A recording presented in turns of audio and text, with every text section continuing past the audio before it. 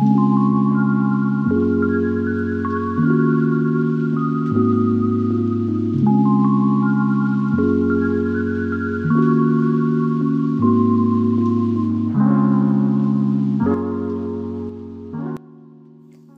my darlings. It's your fairy godmother Mint, and welcome back to the Mint Coven.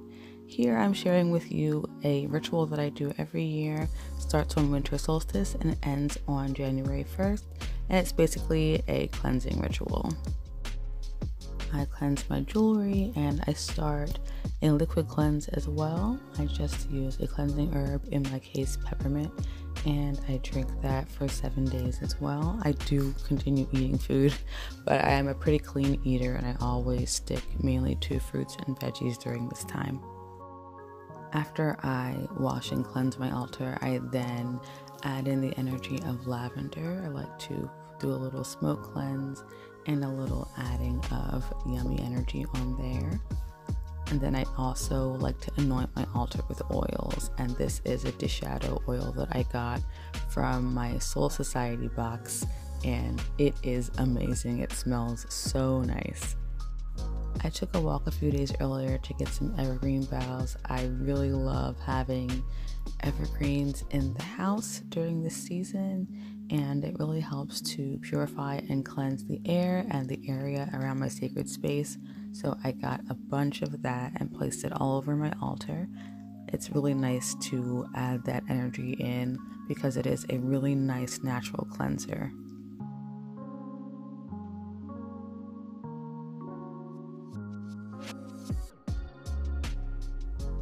Place a white candle in the center so that I can also use the element of fire to cleanse and then I put some rosemary and some other bits of pine around the base of the candle as well.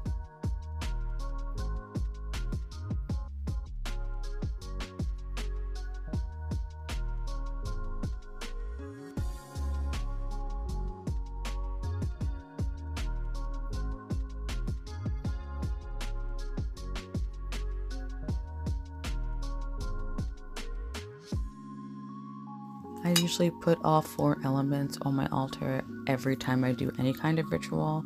So I do have fire and I have air with my incense, and then I have water with my goblet, and then I have earth, of course, with all of the plants there, as well as those yummy pine cones that smelled so great.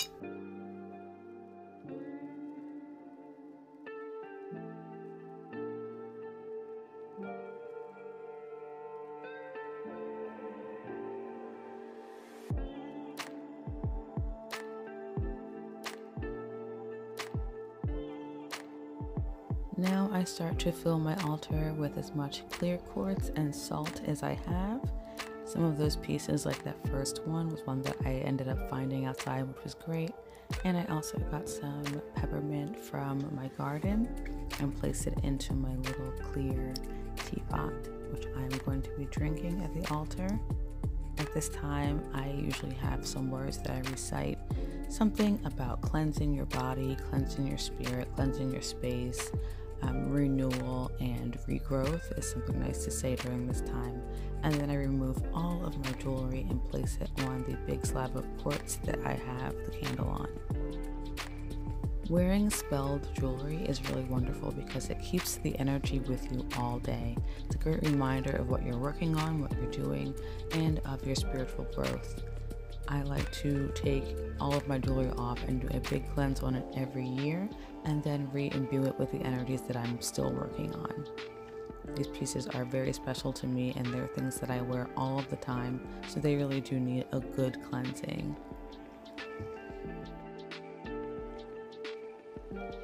I got a few new pieces from Etah Love that I'm going to be wearing all of the time as well. So I want to make sure that they're cleansed before I even put them on, just to have the energy completely blank so that I can fill it with whatever I want.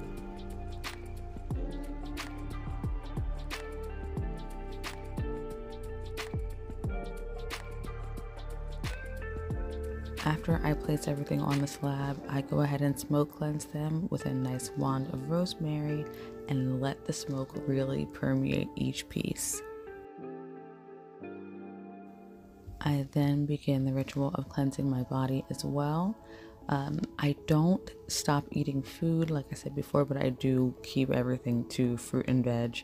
And I drink tons and tons of water and peppermint tea and just, you know, pee out all the negativity, basically. I then do another ritual where I am imagining the smoke from the rosemary going into my body and removing any impurities on its way out. And I usually do meditate with a giant quartz for quite a while, sometimes an hour. Sometimes I'll even just lie on the floor with a quartz on my chest and take a nap.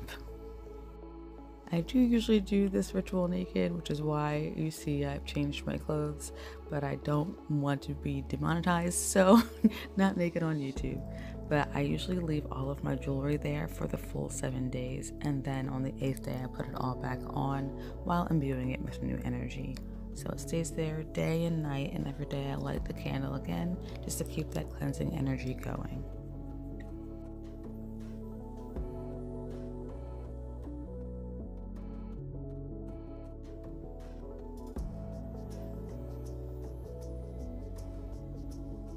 This is my engagement ring. It is a lovely onyx and it is bound in some vines. Onyx is wonderful for protection, especially protection of the heart. This is my tiny triquetra. My great grandmother was Irish and she had this symbol in necklaces and brooches, and it symbolizes the three stages of life maiden, mother, crone. This is a star and moon that I bought at a really rough stage in my life where I wanted to reclaim my identity. This is a staurolite ring. Staurolite is known as the Fairy Cross, and I was really excited to find this piece because I rarely ever see fairy crosses in jewelry. This, of course, is a lovely giant moss agate, and if you don't know, moss agate is my absolute favorite stone. It represents growth, prosperity, charisma, a really wonderful connection with nature and its spirits, and I just absolutely adore it. I love this piece because it has those little clear bits as well, one of my favorite rings.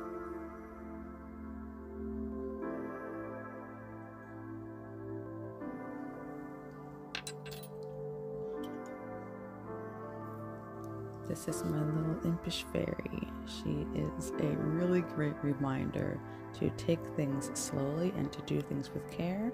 Um, she reminds me of those things because she has very pointy feet that literally draw blood. this is my ring that is a symbol of Dionysus, my grapes. I have a really interesting relationship with Dionysus, and he teaches me about excess and about overindulgence as well as brings lots of prosperity and fertility into my life. This is my wedding band. It is a lovely band of twigs that I absolutely adore. And of course, everything that I wear has to do with nature because I am a lover of nature and a nature witch. This ring is one of my favorites. It is a crescent moon and it has some growth coming out of the center of it like a plant springing forth from the night.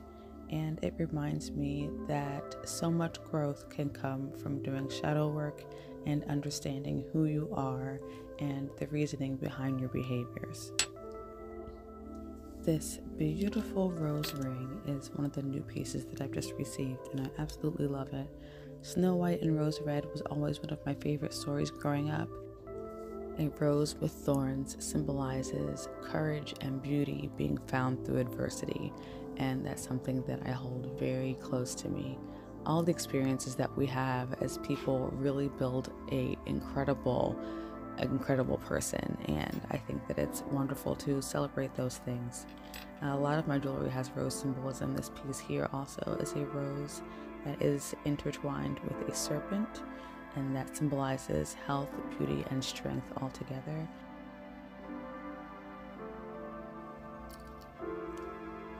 This lovely dagger with three serpents, three being such a magical number, and these gorgeous serpents symbolizing fertility and rebirth, strength, and such a lovely bit of ferocity here. I love the idea and the duality of something that is strong and ferocious, yet beautiful and delicate. So that balance is something that I hold very dearly to my heart. And last but not least, my constant trio, my fairy star and my Victorian pocket watch key, which has the number five on the other side. Five is my lucky number. There's also a tiny little Herkimer diamond on this chain as well. And I love the symbolism of having a key or wearing keys. It is something that reminds me that the key to happiness is with you at all times. And that is it. Happy New Year to you all. I hope you all enjoyed this video and I hope to see you in the next one. Mwah!